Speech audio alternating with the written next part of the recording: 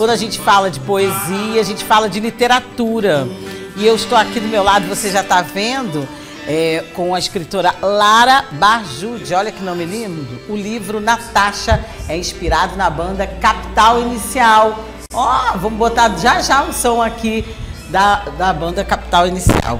Bom dia! Bom dia, Edna. Que Bom linda! dia, vocês, telespectador do Bom Dia News. É um prazer inenarrável estar aqui com você, minha querida. É um prazer todo meu. O prazer é nosso. Logo, logo vendo essa figura maravilhosa, com esses cabelos verdes, com essa voz forte. Cabelo verde eu pintei para ir conhecer o Dini de Capital Inicial, entregar meu livro a ele.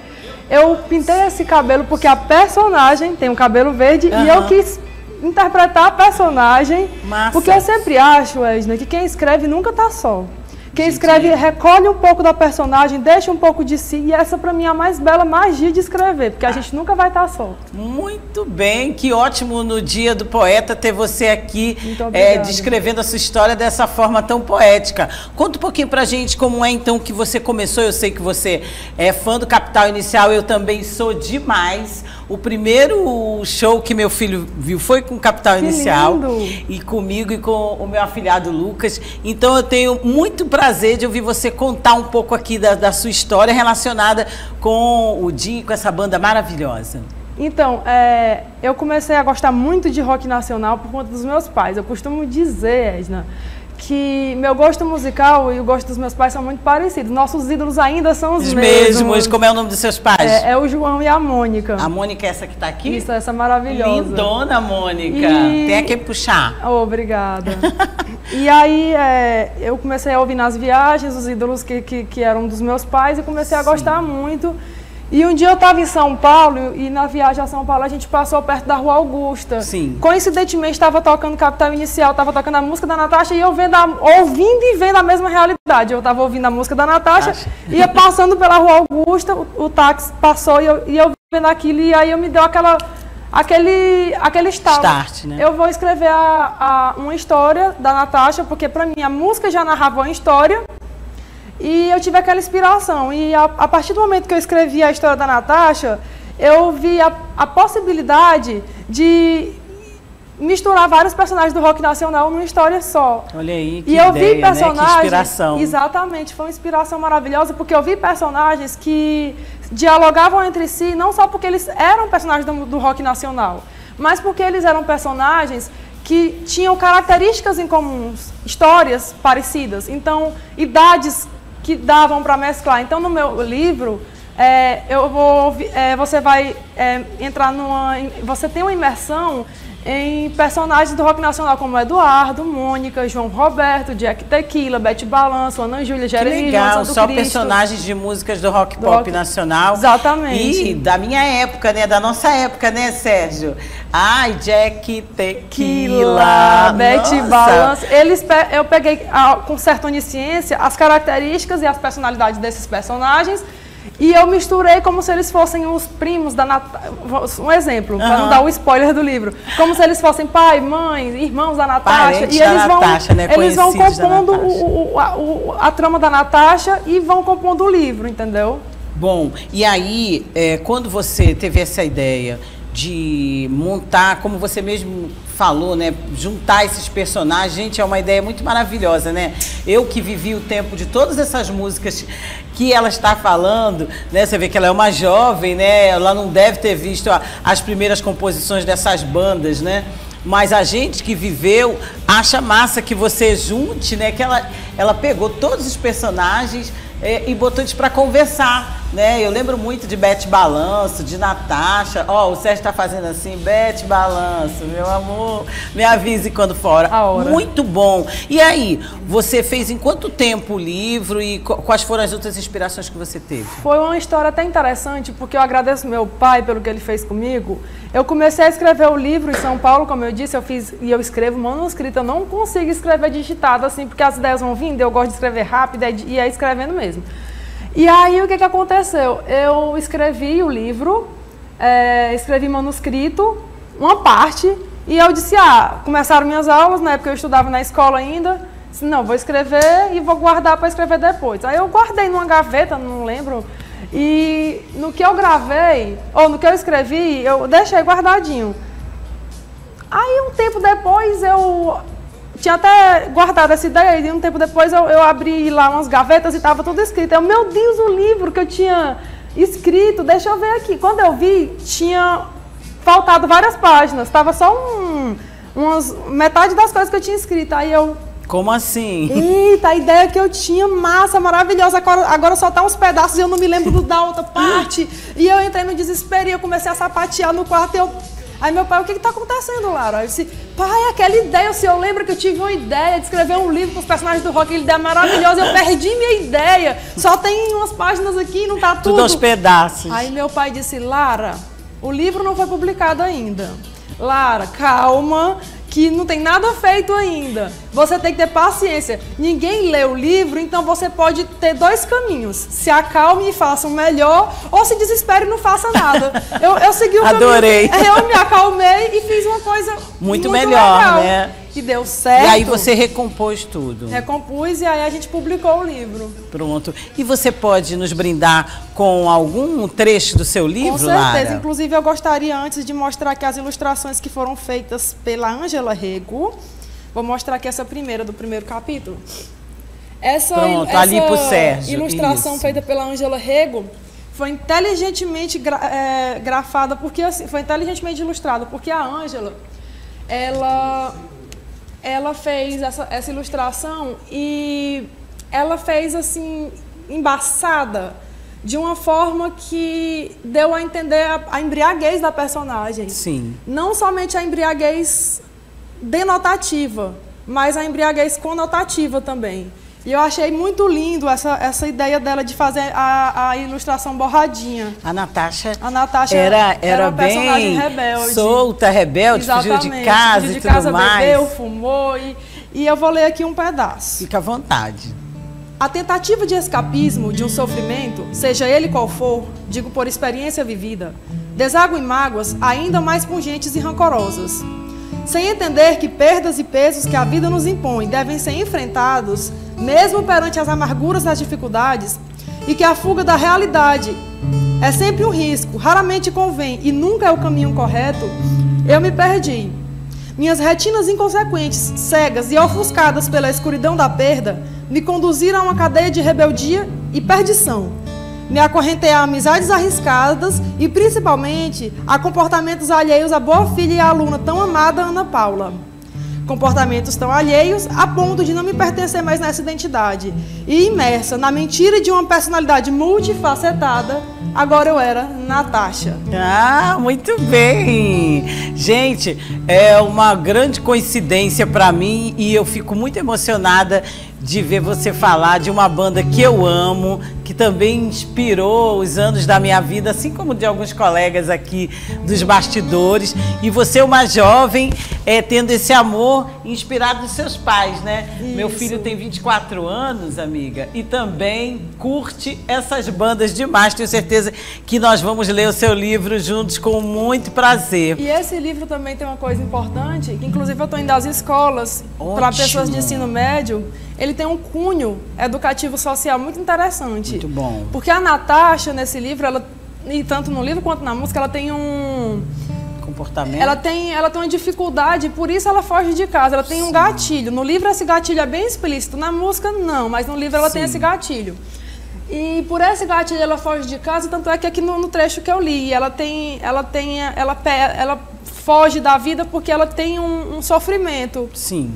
E aqui ela admite que sofreu e não era a coisa correta que ela fez, mas enfim, ela se arrepende amargamente no oh, final da vida. Sim. E isso é uma forma de alertar contra drogas, contra as amizades arriscadas, alertar o papel da família Muito bom. na educação de um jovem.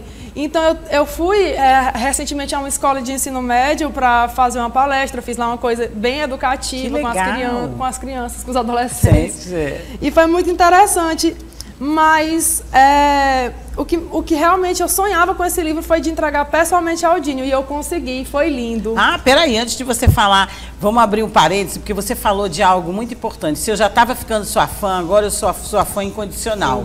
gente, a gente fala sempre aqui sobre a questão da educação, que é a base de tudo pede o apoio é, dos gestores, dos governos estadual e municipal e também da rede privada e principalmente de você, pai, para incentivar os filhos à leitura. Olha onde a leitura pode levar seus filhos, a música. A Lara é um exemplo vivo, nato e muito bom de que você ter pais, familiares, pessoas próximas que leiam, que, que é, gostem de música boa, que passem para você toda essa cultura da vida que eles têm, pode é, resultar num ser humano como esse, num escritor, num poeta ou em outra área mesmo. Mas olha que bom o exemplo que está sendo aqui hoje, é, dado no Bom Dia News, de uma pessoa que realmente.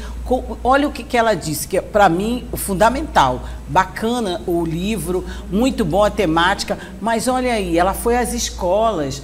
O livro também tem esse cunho social educativo. Ela já está palestrando. Então, parabéns aí aos pais da Lara, parabéns a você pelo livro. E aí, dando continuidade, vamos lá. E o seu sonho, que é meu sonho, ela está perto dele também, de entrevistá-lo.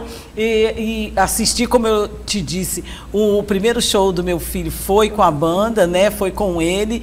E aí, você conseguiu realizar teu sonho? Sim, e eu tenho a agradecer a três pessoas que, que, foram, que me ajudaram muito, que foi a minha comadre que me ajudou como muito. Como é que é o nome da sua comadre? Muito bem. Que ela foi comigo até o final, até se Sempre tem uma amiga muito. que acompanha a gente nas nossas nossos sonhos, nossas loucuras, nossas coisas boas. Até se a Vivi, que são do, de fã-clubes, que me ajudaram a ter esse acesso. Ótimo. E foi um sonho, porque assim. Foi aonde é, que você foi em entregou? Fortaleza, Fortaleza. Fui, viajei para lá, fui só para entregar o livro.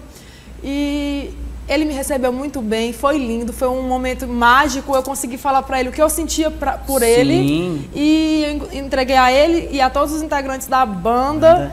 E eu fui bem recebida, fui bem recepcionada. Registrou, tirou foto. Registrei, inclusive ele já postou no perfil Trouxe... da banda. Tá lá no perfil do Capital oh. Inicial. Se vocês olharem pro perfil do Capital Inicial, tem lá um vídeo que eles fizeram para mim, me marcando Que legal! E, e você não lindo. trouxe a foto pra gente? Não mandou pra, pra Lorena? Senão a gente ia mostrar. Ah, eu, eu acredito que eu tenha mandado, eu não sei Será? se... Será? Tá lá. Bom, se tá... tiver aí, gente, vamos mostrar. Tá Mas fala.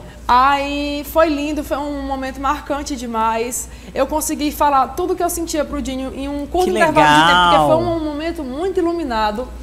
E foi é, quando isso, Mara? Foi no final de semana passado. Ah, tá recente, recente, assim. Que legal. Então a gente, a, a, produção, eu acho que a gente não tem aí.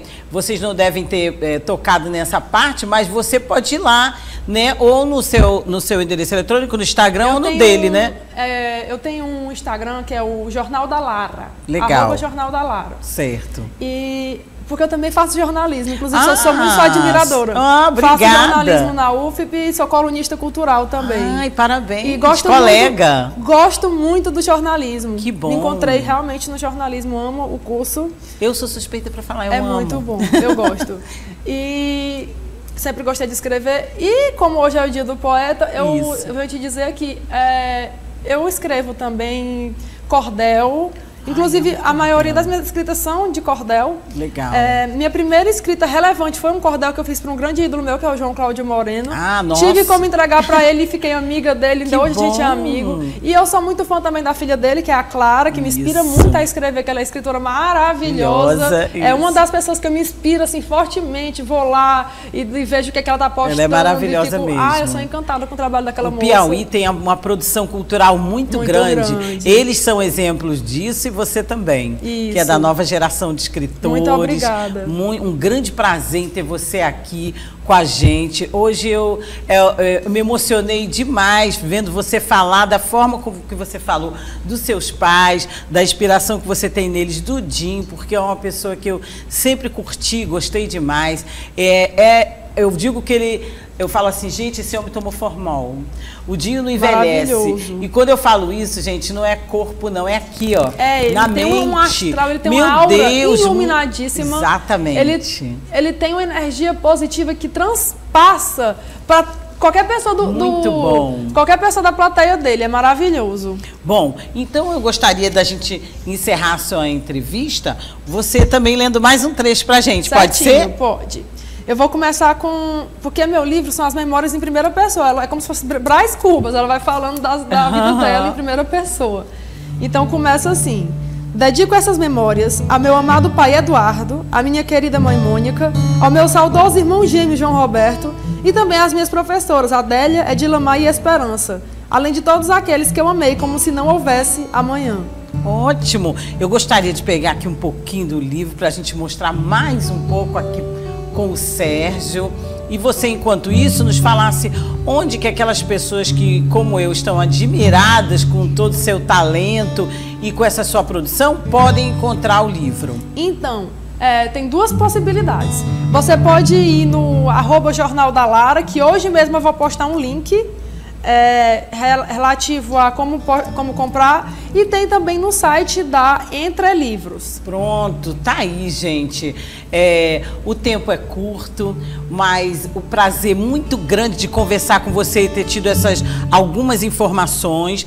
Nós, nós queremos mais informações de você. Tenho certeza que a Vanusa Coelho e a sua produção vai chamar você aqui mais uma vez. Afinal, você me disse que está fazendo comunicação, está em franca produção. Daqui a pouco tenho certeza que já vem aí com uma outra publicação pra gente.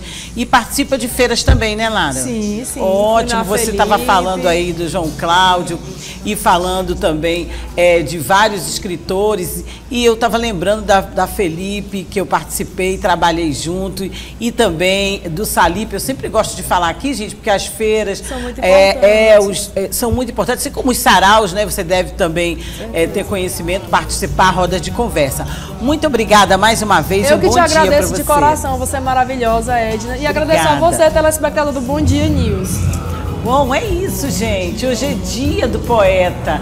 Nada melhor que a gente receber uma jovem autora de livro, uma jovem poeta, cheia de gás, cheia de luz, maravilhosa, que traz aqui uma banda maravilhosa, né? A história de alguém, de um personagem de uma banda maravilhosa, de um compositor, de um cantor que atravessa todas as décadas, que é o Dinho, né? A gente gosta muito dele, da sua banda, do Capital Inicial e de tantas bandas dessa época.